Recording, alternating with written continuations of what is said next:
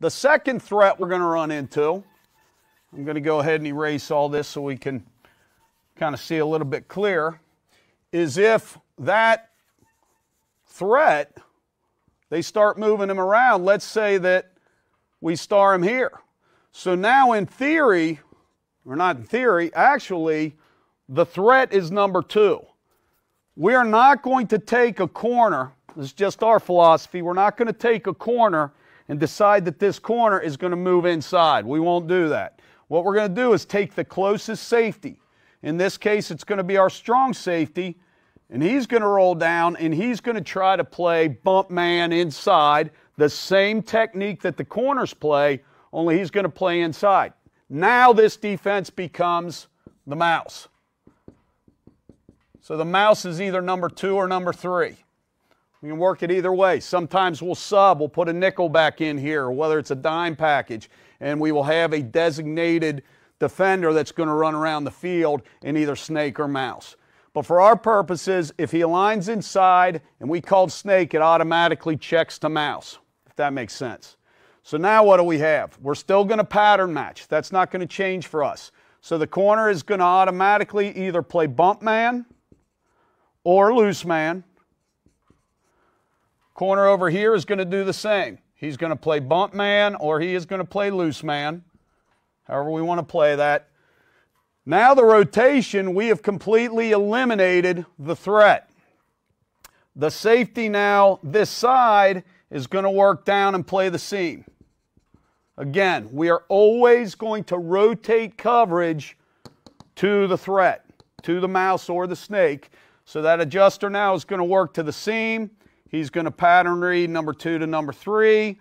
We're going to have a backer inside. One of these two is going to work to the hole.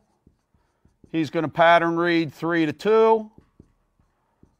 We're going to have our backside. Will is going to work to the backside seam. Again, pattern reading number two to number three.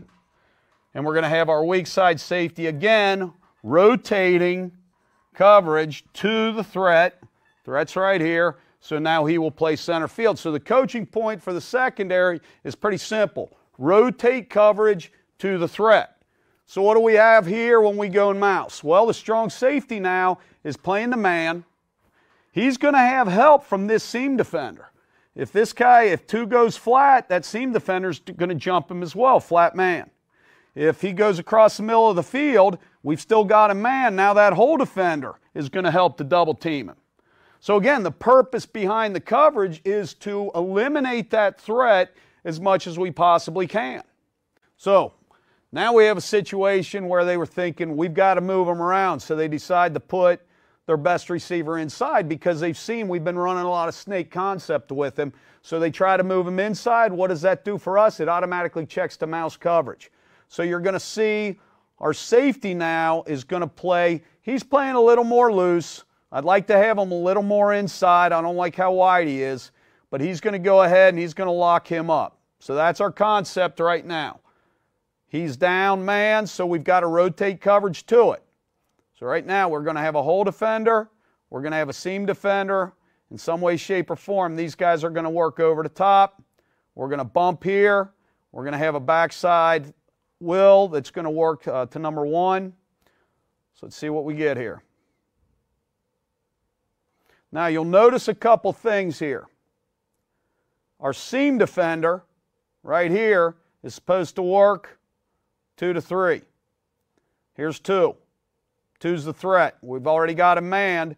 So if all of a sudden two goes vertical, he's going to sit over top of him and work to three late in the flat.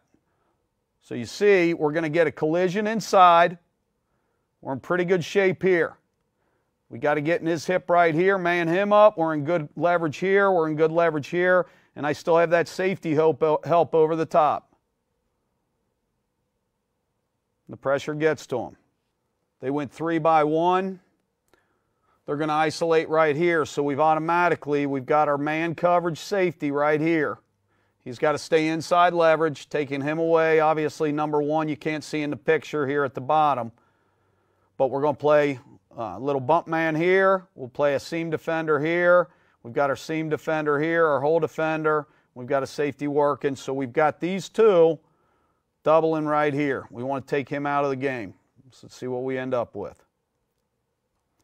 Okay, he's again, you can't give up inside leverage. He's got help over the top, but we're giving up an easier throw. So I'm not real happy about this, but you're going to see him close over the top, and we'll have him bracketed with a free safety here. We're good leverage here on the hole. We're good leverage here. We're in great leverage here. Not real happy with the free safety. He's got to gain some more depth. He's getting flat footed because he's worried about this guy. Well, we've got this guy bracketed, so he has to be coached up, read the quarterback's eyes, keep gaining depth, and get over this post. Because I think the corner's in great shape, but he trips up, he falls down. We better have a safety over the top of that. But getting back to it, what is the purpose of the coverage? The purpose of the coverage is to eliminate this guy. And that's what we're accomplishing with this coverage concept.